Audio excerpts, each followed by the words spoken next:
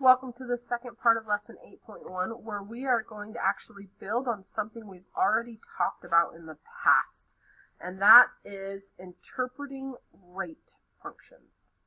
So if we look at this graph right here, this is the graph of rate of rainfall in inches per hour. So something we need to specify is this is the graph of a rate. This is a graph of a first derivative, aka velocity. Velocity is always a rate, miles per hour, inches per minute, that sort of thing. So this graph is actually the graph of the velocity, not the position, which is something we'll want to be very careful of as we're answering these questions. And it models the rate of rainfall from midnight until 6 a.m. So there's our graph that we're going to focus on this whole time. So let's start with number six. Write a complete sentence to explain what point A on the graph represents. Include numbers and units in your answer. So let's actually put what point A is. So A is going to be 3, comma 1. Now this x value stands for time in hours. This y value is the rate of rainfall. So if I want to say what this point means, I could say at this time, the rate of rainfall is this much. So at 3 a.m., three hours after midnight, the rate of rainfall is one inch per hour. That's what that y value means.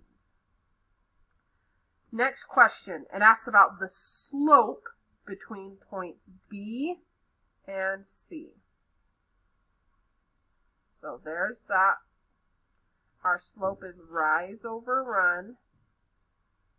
So it looks like we're falling 1, so negative 1, running 1. So that's negative 1 over 1. So negative 1. And we need some units.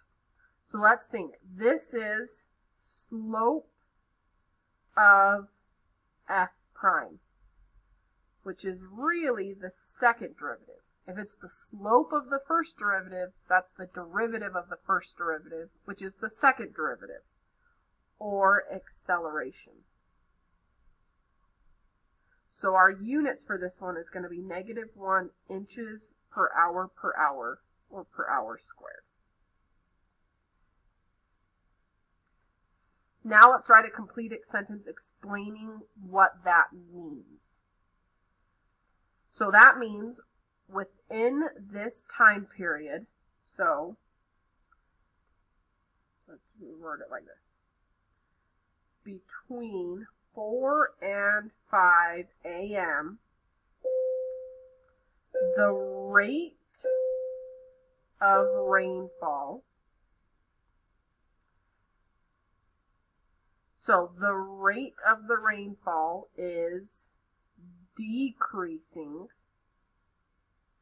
And here's the key. The rate of rain, rainfall decreased at a rate those are the key words in this answer because this shows, remember, this is acceleration or second derivative. This is rate of a rate. So that is second derivative. That fits what we're looking at. So it decreased at a rate of one inch per hour. And as long as I have this word decreased, I don't need to put the negative in front because that's what that decrease means. Okay, question 9. Find the integral from 3 to 5. So let's highlight what this is. So I want to find all of this. Area under the curve from 3 to 5.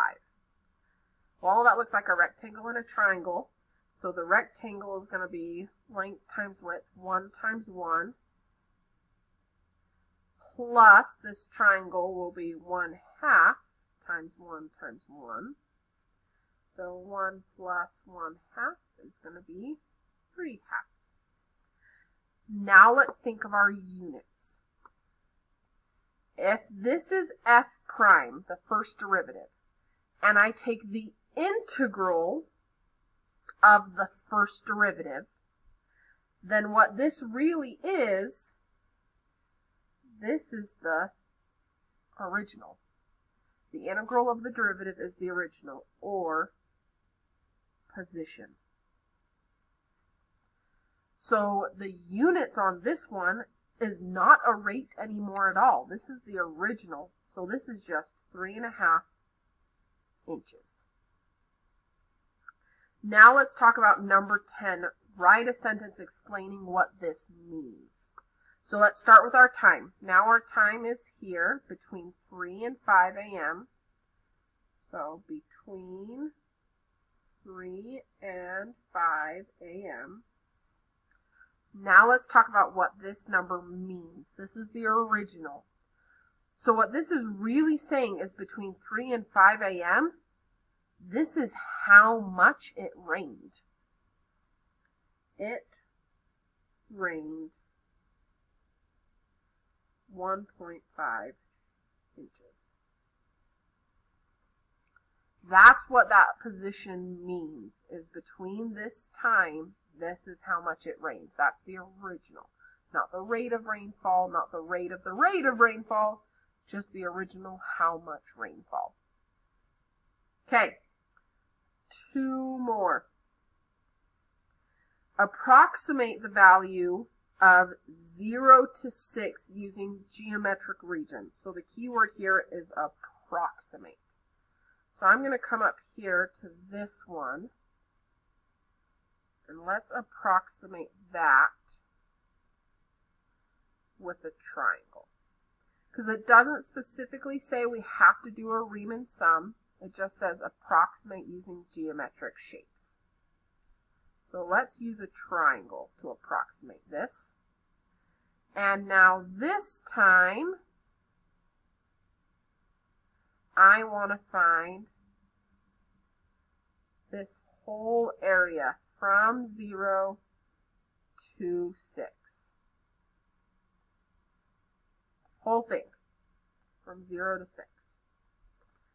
So that's basically going to be this triangle plus what I did in number 9. So that triangle is going to be 1 half times this base, which is 3, times this height, which is 1, plus the 1.5 I've already got, which is 3. And this is still the integral of f prime. So this is still an F or position, still an original. It's just now it's the position from 0 to 6 instead of from 3 to 6. So let's write a sentence what this means. Between midnight and 6 a.m. The total, oh, sorry. Yep. The total amount of rainfall was approximately, because this one's not exact, I had to approximate that area, 3 inches. So that is taking what we've done before with interpreting rate functions, but now we've added integrals into it, going backwards from a rate function. That's it for 8.1. You can get started on your homework.